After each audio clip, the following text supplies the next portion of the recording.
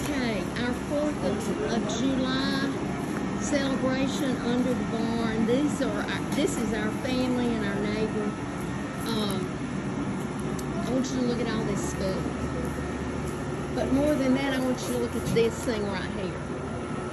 Amy ordered these, and I'm going to have them linked because you could put your hand in it and it doesn't hurt you, but it keeps the flies away.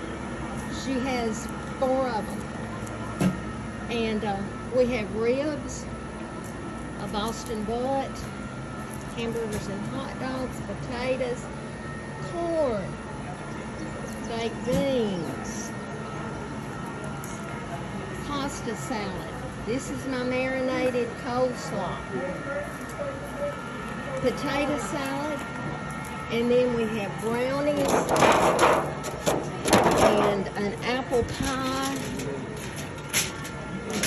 And we have two freezers of ice cream going over here.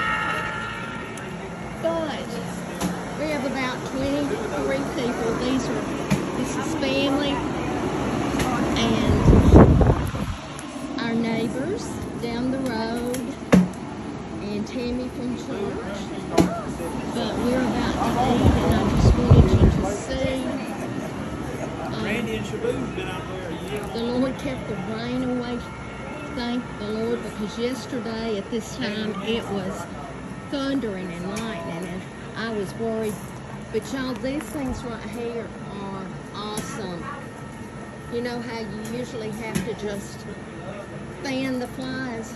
Well, this does it for you. It You um, charge them up, right? hmm They have double A batteries and you charge them. Okay.